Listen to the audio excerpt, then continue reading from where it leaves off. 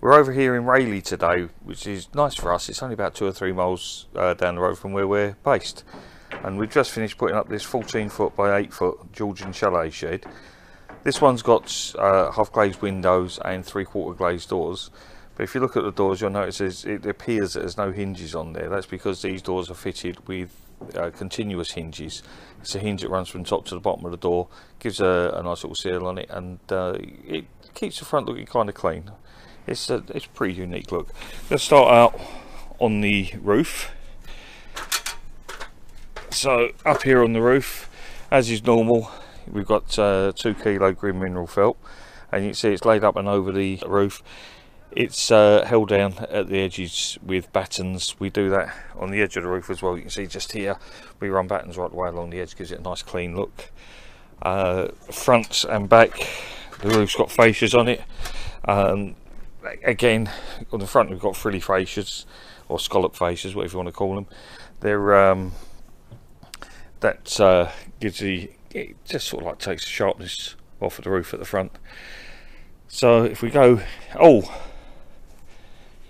If you look at the front of the shed now fat fingers coming into play you see all these along the front here they're concrete fence posts. What we've done here, we've laid down some concrete fence posts, we've levelled them up. They're just under two foot apart for each one. We've levelled them all up and then put down a four inch by two inch uh, pressure treated frame. That's uh, covering the whole of the shed.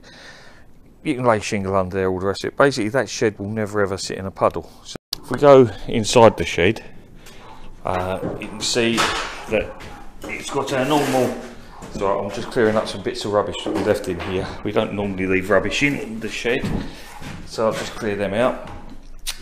It's got a normal uh, heavy duty framework on it, which is an inch and a half in that direction, two and a half inches in that direction, or if you like, it's 63 millimeters that way, it's 38 millimeters that way.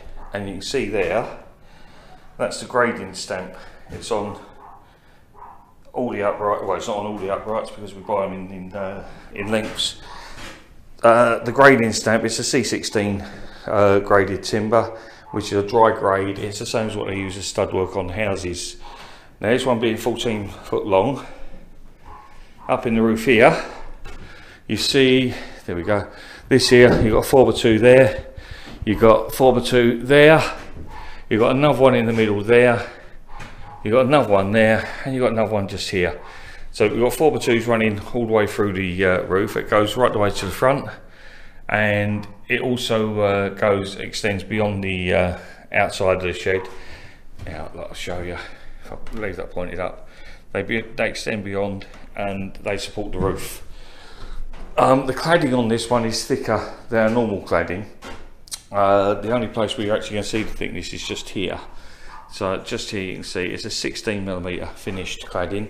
Normally we use 12 millimeter, but this client wanted the 16 mil, so that's what we've done. Uh, again, it's a fifth grade or better Scandinavian redwood cladding. We use the same on the roof, although the roof is 12 millimeter. It's not 16 mil, but it's the same grade. It's a, a fifth grade or better Scandinavian redwood. I've got a feeling I just said sixth grade. It's not. It's a fifth grade or better Scandinavian redwood. Now I told you about the floor with the four by twos underneath it. Clad over the floor is 18 millimeter thick exterior grade plywood. So this is a very, very strong floor indeed. It's not going to uh, be going anywhere. The, uh, move that up. The glazing, it's one piece glazing. The glazing bars are just there for effect. Uh, it's one piece glazing and that's two millimeter horticultural glass. Same as on the doors. Uh, there you go. There we go. There's the, uh, there's, oh yeah, look, look, I like these. Look. There you go, Gorilla Garden Sheds key rings. It's kind of swish. So uh, there you go. That's a 14 foot by 8 foot Georgian chalet with three quarter glazed doors. Um, yeah, job done.